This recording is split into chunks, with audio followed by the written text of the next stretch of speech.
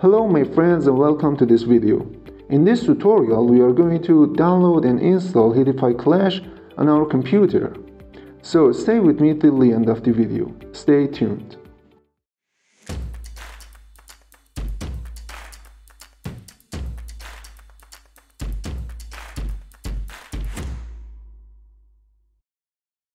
Before anything, let's take a look at the Hiddify's official YouTube channel, where you can find many videos from the beginning of the installation of the panel on your very own server and use its configs on different applications on different platforms like Android, iOS, and desktop. So make sure to subscribe to the channel and hit the bell icon to never miss any new videos. And also I would like to show you the GitHub page of Hiddify. They have categorized all tutorials and videos back there. Videos from the beginning of installation and setup. And when you scroll down, you can find many other videos and even contents related to use different softwares on different platforms like Android, softwares like on iOS and on desktop. So let's get to our job. See if you create a user with Hiddify panel, it will generate a link that will redirect you to such a page like this. Here you can find all necessary information about your subscription. For example, here you can find how much traffic you have used or how much traffic you are allowed to use. And even here you see how many days left your subscriptions end. And also here you see different platforms. Here Android. The suggested apps on Android, iOS and even on desktop, you can find them here. So here we want to use Hiddify Clash for desktop. So I will click on Hiddify Clash. And as you see, there are a bunch of options here Windows, Mac, and Linux. Apps environment in all operating systems is the same, but for installing the app on Mac, you need to confirm the program in the privacy section. And for installing the app on Linux, all you need is to give executable access to the downloaded app image file and run it. So here by clicking on Windows uh, icon, the process of download will begin. You can download the app by clicking on this icon. But I have already downloaded the file and stored it here. By double clicking on the file, the process of installation will begin. Here, hit the next, and here you can choose the location of installation path. I will leave it by default. And next. Just hit the install and wait a second. And installation has been successfully done. By double clicking uh, on the app icon, I will open the app.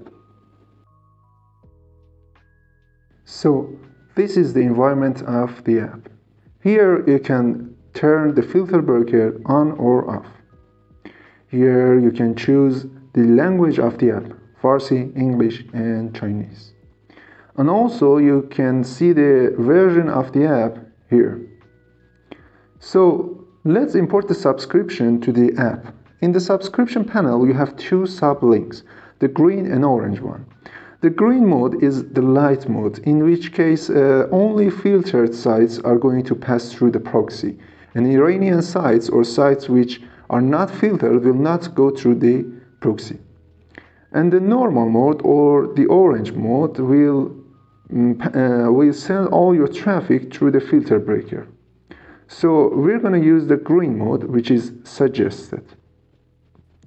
By clicking on this icon, the browser uh, will add the subscription to my app. Here I click on that and browser asks me if I want to open Hiddify Clash and I grant it. Wait a second and here you see the profile has been added to my app. In the Profile tab, you can see the information about your sub profile. like usage and like the limitation of usage and even the ex, uh, expiration date. As you see it's here. In the proxies section, you can see all proxies and all configs which has been added from your sub profile. By switching between different profiles, these proxies will be changed according to your profile. In the proxy section, you can find three different tabs, rule, global, and direct. In rule tab, we have three different options. The proxy. This mode will execute the proxies in the profile and connect to the first config that pings. And here you can sort configs by location. And here you can run a delay check. The next mode is the automatic mode. In this mode, this mode will connect to the best config that has the lowest ping. And the next mode is the sequential mode. This mode will connect to different configs that has ping one after the other and will distribute your traffic load between these configs. This mode will change the config periodically. And the difference between this mode and the load balance mode is that in the load balance mode, the app is connected to many configs at the same time. But the sequential mode is only connected to one config at the time and it will change it one after the other. Next tab is global mode. In global mode, you can find all of your configs which are related to your profile and you can connect to each of them which you desire. And the next tab is direct mode. The direct mode will send all traffic directly to the internet and won't pass through the proxy, which means that you have never used the proxy and you have never turned the filter breaker on. So the next section is settings. The first option in the settings section is tune mode. This mode will proxy all of your traffic through the filter breaker. But in order to use this mode, you have to run the app in administrator mode. So let's just uh, run the app in this mode. I will close the app completely and just by right clicking on the icon, you can see run as administrator. So I just click on that and the app is open.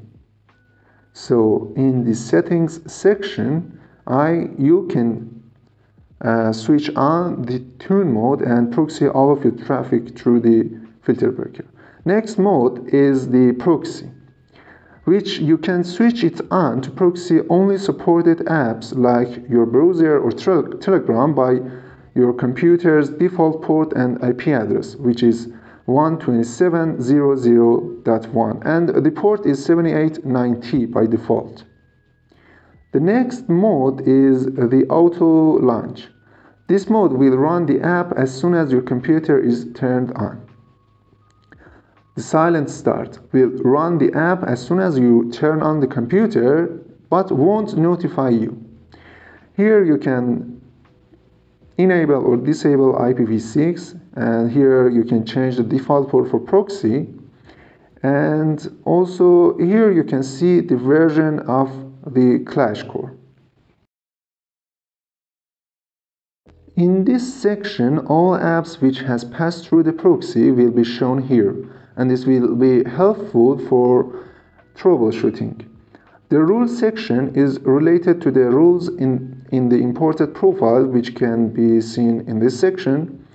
And also here, you can see your traffic graph, which is related to the traffic passing through the filter breaker.